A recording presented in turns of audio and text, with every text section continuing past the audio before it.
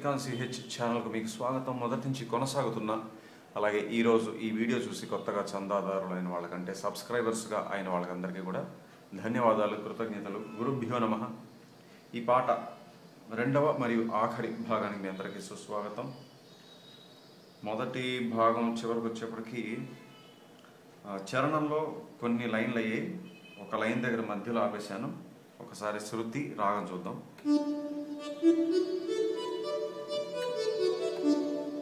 ఎక్కడ ఆపేశానంటే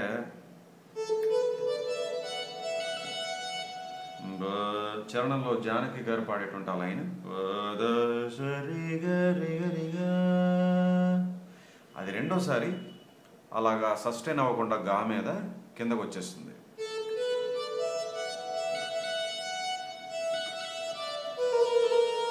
బా ఓహో!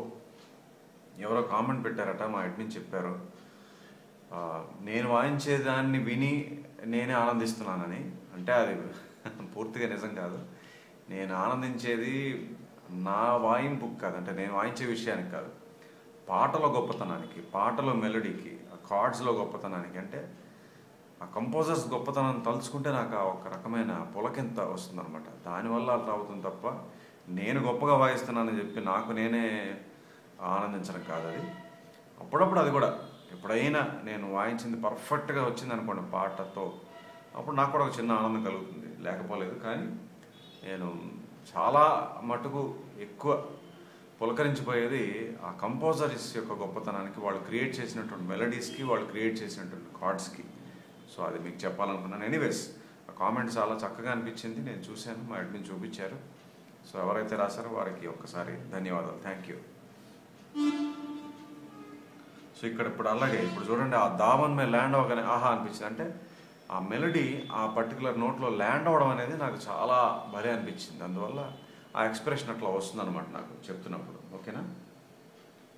ఓకే. సో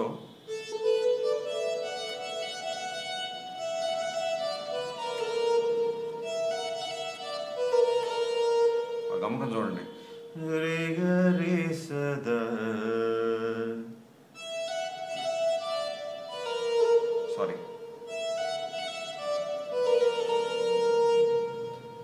స్లోగా వాయిస్తే బాగుండదు చాలాసార్లు చెప్పాను. గమకాలు అంతకన్నా స్లోగా వాయిస్తే బాగుండదు. తర్వాత. రే సరి రి సరి సరి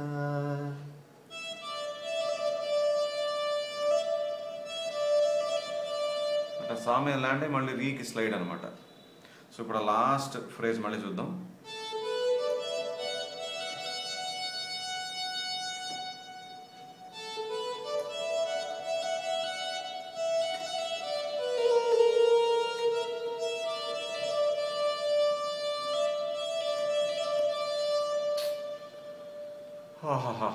చూసారా మళ్ళీ ఒక పులకింత? ఇళయరాజా గారి ఆ కంపోజిషన్కి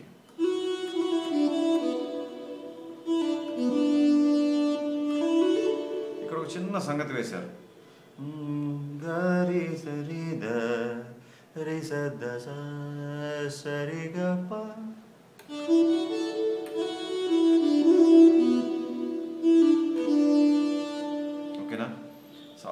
చిన్న సంగతి జానకి గారు. ఆఖరి పల్లెలు మళ్ళీ ఎస్పీబీ గారు కూడా అదే సంగతి పాడతారు. ఇప్పుడు మనం మూడో సంగీతానికి వచ్చేద్దాం. మూడో సంగీతంలో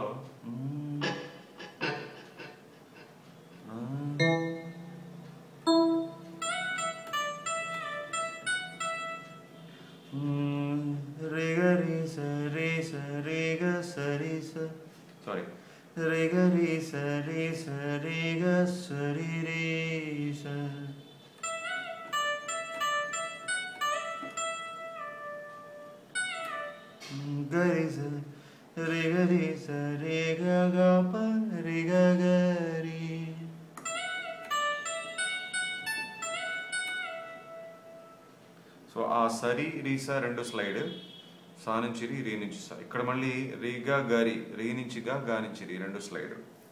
సో మొత్తం చూద్దాము.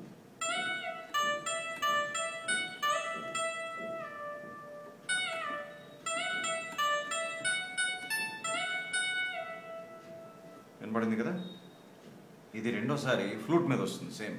ఒకసారి మళ్ళీ వాయిద్దాం. ఎంత అందంగా ఉంది చూడండి ఆ బిట్టు.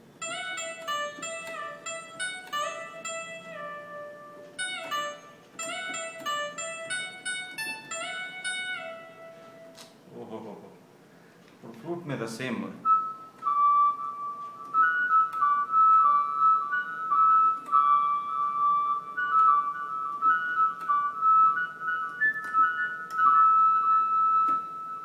సేమ్ బిట్ ఏం తేడా లేదు. అయితే ఫ్లూట్లో ఉన్న చిన్న గమకాలు అక్కడ ఏంటంటే ఈ సారి రీసా స్లైడ్ ఇచ్చారు రీగా గారి. ఇక్కడ స్లైడ్ కాకుండా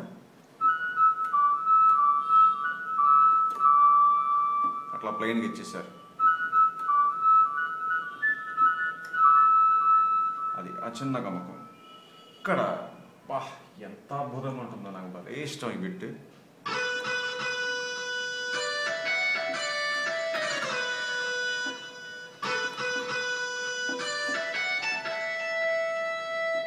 డిస్టార్షన్ గిటార్ అంటారు. మీ మీలో చాలామంది తెలిసే ఉంటుంది. అంటే ఎలక్ట్రిఫైడ్ గిటార్. మళ్ళీ అందులో డిస్టార్షన్ అనే ఒక ఎఫెక్ట్ పెడితే ఎలక్ట్రిక్ గిటార్కి ఆ రకమైన సౌండ్ వస్తుంది. సో సరి గరి సరి రీ నుంచి దా స్లైడ్ అయితే అది చాలా ఫాస్ట్గా వాయిస్తే తప్ప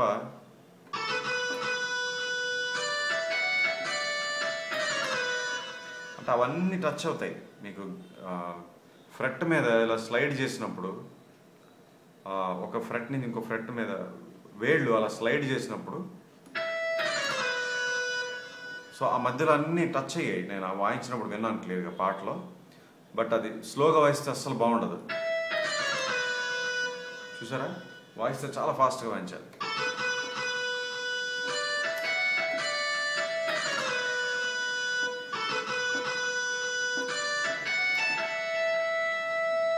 ఆహా.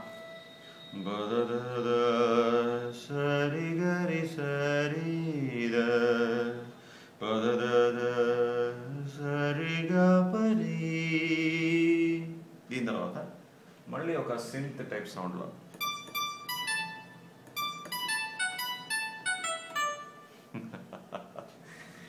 ఆయనకి ఎట్లా తడతాయో తెలియదు కానీ ఆ బిట్స్ ఒక బిట్ తర్వాత ఒక బిట్ కనెక్షన్స్ కనెక్షన్స్ అట్లాగా. అంటే ఒకటి వినేలోపు కూడా వచ్చేస్తుంటుంది అనమాట ఇప్పుడు సినిమా చూడండి ఏదైనా ఒక కామెడీ సినిమా చూసాం అనుకోండి. వరుసగా జోక్స్ వచ్చేస్తుంటాయి. ఒక జోక్ విని ఆస్వాదించి నవ్వేలోపు ఇంకో జోక్ వచ్చేస్తుంది అనుకోండి ఎలా ఉంటుంది? అలాగా? ఒక మెలడీ ఒక ఒక్క లైన్ ఒక ఫ్రేజ్ ఆస్వాదించి ఆహా అనే లోపు ఇంకొకటి ఇంకొకటి. ఇట్లే పాటలు ఎన్ని ఫ్రేజులు ఉంటాయి ఎన్ని లైన్స్ ఉంటాయో అలాగా ప్రతీది కూడా ప్రతీది. So hats off hats off ఆయన అసలు ఆ బ్రెయిన్ ఏంటో అసలు ఆ మనిషి ఏంటో ఆ పొటెన్షియల్ ఏంటో మైస్త్రో ఇసై జ్ఞాని ఇళయరాజా గారు.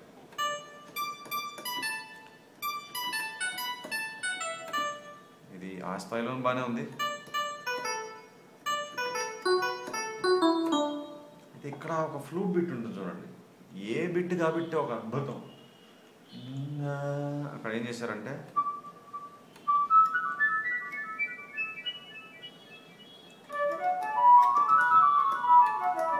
ఇక్కడ ఏం చేశారంటే సరిగ పద నీ సరి గరి సద పగరి సా. నీ ఒక్కటనమాట. చాలా ఫాస్ట్గా దాన్ని ఏమనొచ్చు అంటే ఒక రన్. స్ట్రింగ్స్లో ఎలా అయితే రన్ మీకు చాలాసార్లు నేను వాయించి చూపిస్తుంటాను వేరే వేరే పాటల్లో ఫ్లూట్ మీద ఒక రన్ అనుకోండి.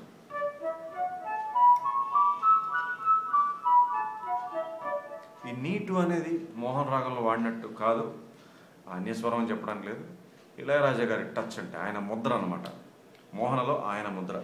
ఈ నీటు మనకి మొదటి భాగంలో మీకు గుర్తుంటే కనుక బేస్ గిటార్లో వచ్చింది. దస నీ ద గ స అని చెప్పి. అక్కడ కూడా నీటు.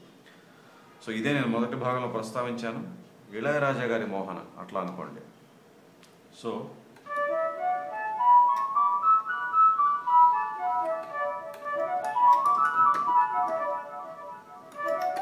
సారీ. చాలా ఫాస్ట్ వెళ్ళిపోతుంది. అలా అనుకోవచ్చు. అయితే ఇది అవుతుండగా మళ్ళీ సింత్ మీద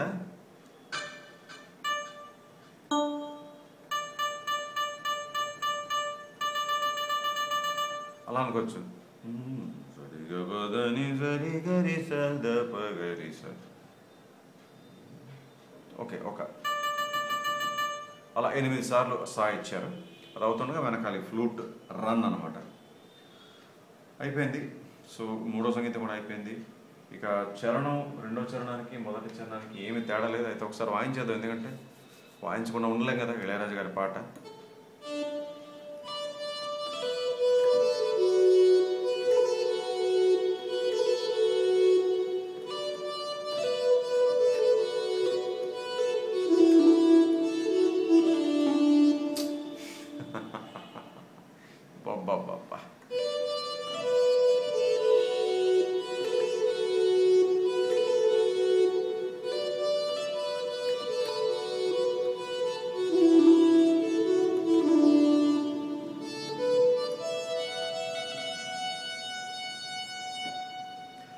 ఆ సైలెన్స్లో కూడా చూడండి ఎంత ఫీలింగ్ ఉందో. మోత్సార్ట్ అంటారు. మోత్సార్ట్ అంటే వుల్ఫ్ గ్యాంగ్ ఎమదియోస్ మోత్సార్ట్ అని మన ఇక్కడ ఎలాగైతే మన కర్ణాటక శాస్త్రీయ సంగీతంలో మన త్యాగరాజ స్వామిని ఎంత గొప్పగా అయితే కొలుస్తామో సంగీతకారునిగా వాగ్గేయకారునిగా అలాగా పాశ్చాత్య శాస్త్రీయ సంగీతంలో ఒక ముగ్గురు ఉన్నారు. త్రిమూర్తులు మనలాగే. మనకి త్యాగరాజస్వామి ముత్తుస్వామి దీక్షితార్ అలాగే శ్యామశాస్త్రి గారు. అక్కడ ఈ నేను చెప్పినటువంటి మోత్సార్ట్ గారు వల్ఫ్ గ్యాంగ్ అమెడియోస్ మోత్సార్ట్ అలాగే బీథోవెన్ హేడెన్ అని చెప్పి ముగ్గురు త్రిమూర్తులు. అందులో మోత్సార్ట్ అనే ఆయన మనకి త్యాగరాజస్వామి గారికి ఎంతైతే ప్రఖ్యాతి ఉందో మన భారతదేశంలో ప్రపంచ వ్యాప్తంగా భారతదేశం కాదు అలాగా ప్రపంచవ్యాప్తంగా వెస్ట్రన్ క్లాసికల్ మ్యూజిక్ వరకు ఆయనకి అంత ప్రఖ్యాతి ఉంది మోత్సార్ట్ గారు. ఆయన అంటారన్నమాట ఒకసారి మ్యూజిక్ అనేది స్వరాల్లో లేదు స్వరాల మధ్యలో ఉన్నటువంటి సంగీతం దాన్ని కూడా వినగలగాలి మనం. అంటే స్వరాల మధ్యలో ఉన్నటువంటి నిశ్శబ్దం కూడా సంగీతమే అంటారు ఆయన. So music is not in the notes but in the silence అంటాడు మొత్సాట్ సో ఆయన చెప్పినట్టు ఇప్పుడు ఇక్కడ ఇళయరాజా గారు ప్రూవ్ చేశారు అది.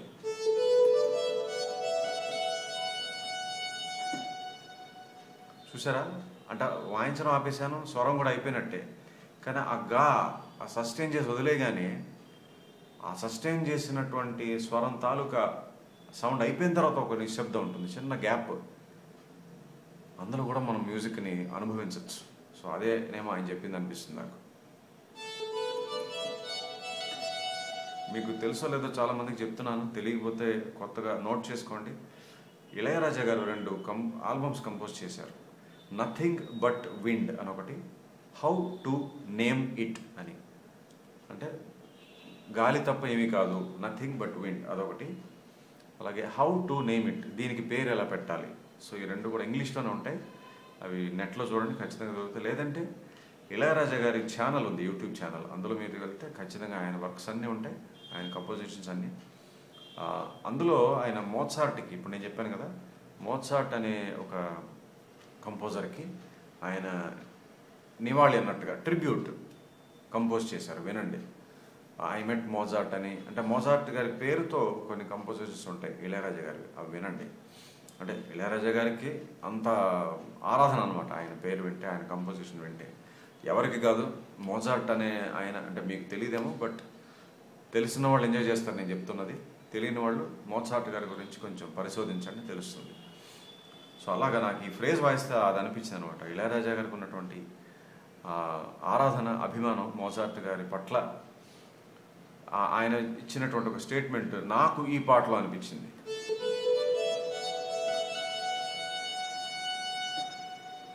బా. క్షమించారు అయితే బాలు గారు ఇక్కడ ఏం చేశారంటే నాకు ఇక్కడ లిరిక్ గుర్తుంది. నీ ముద్ద మందారాలే ముద్దాడన అని వస్తుంది. ఇప్పుడు అలా గుర్తుంటాయి. నేను వేటూరు గారు అద్భుతంగా రాశారు. సో జానకి గారు పాడింది ఎలా ఉంటుందంటే? రేగరి సదా అని వస్తుంది. బాలు గారు పాడింది ఆ రిగారి అనేది వదిలేసి డైరెక్ట్గా ఈ పా నుంచి గాకి వెళ్ళి కిందకు వచ్చి దావన మీద ల్యాండ్ అవుతారు.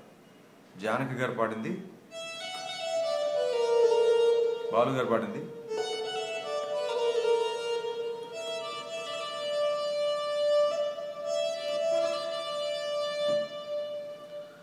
అలాగే ఇందాక చెప్పాను మధ్య పల్లవిలో జానకి గారు పాడిన సంగతే ఆఖరి పల్లవిలో ఇప్పుడు ఎస్పీ గారు ఎస్పీబీ గారు పాడతారు.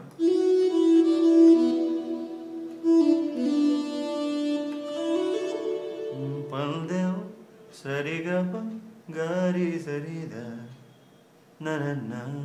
ఆయన చిన్న రిధం తర్వాత పాడతారు. అని. అంతే అయిపోయింది. అయితే పాట అయిపోయింది కానీ ఇంకా పాట గురించి అలా మాట్లాడాలని అనిపిస్తుంది నాకు.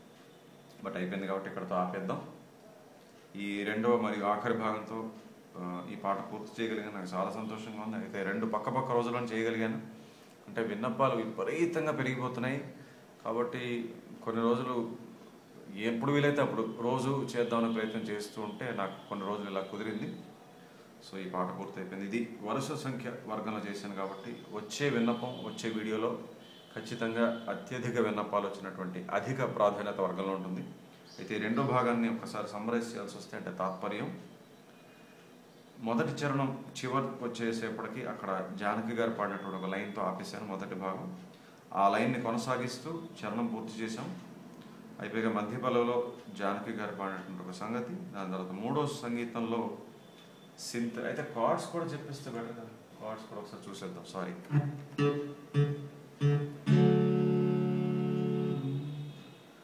అక్కడ ఖచ్చితంగా చెప్పే తీరాలి. I'm sorry I'm sorry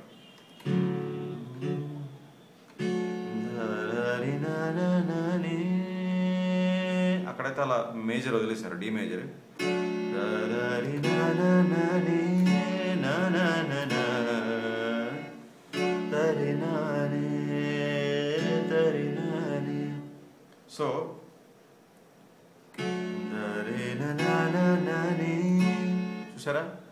okay note ఆ గా దగ్గర ఉండగానే D major B minor D major sorry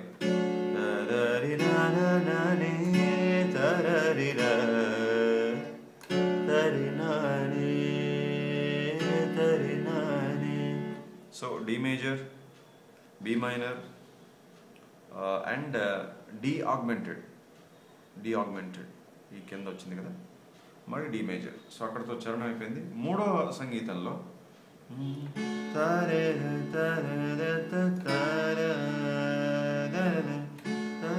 sorry ఇదంతా నైన్త్ ఇచ్చారు. అలా వస్తుంటుంది. ఏనండి జాగ్రత్తగా. పాటలో కూడా అని వస్తుంది కార్డు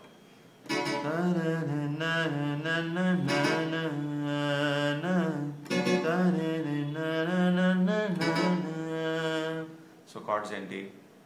డి నైన్త్ మళ్ళీ బి మైనర్ ఏ ఫోర్త్ ఇదే మళ్ళీ ఫ్లూట్ మీద వస్తుంది. ఫ్లూట్ మీద వచ్చినప్పుడు టమ్ టమ్ మీకు చెప్పాను ఏక్తార అని ఒక ఇన్స్ట్రుమెంట్ ఉంటుంది. అది మాత్రం ఇచ్చారు. దాని మీద ఫ్లూట్ వస్తుంది. అక్కడ కార్డ్స్ ఉండవు. అయితే ఆ బిడ్డకి కార్డ్స్ అయితే ఇవే.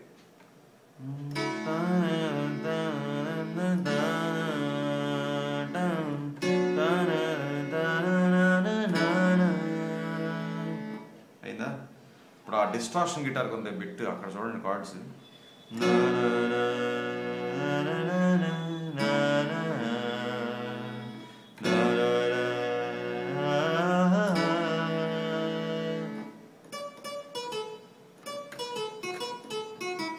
అక్కడ కార్డ్ ఏం లేదు. అయితే ఆ డిస్ట్రాక్షన్ గిటార్కి బి మైనర్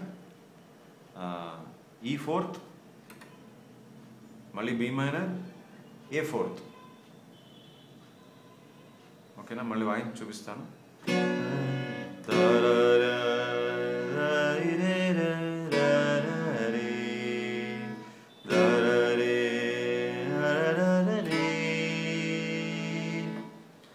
సో ఒకసారి ఈ ఫోర్త్ రెండోసారి ఏ ఫోర్త్?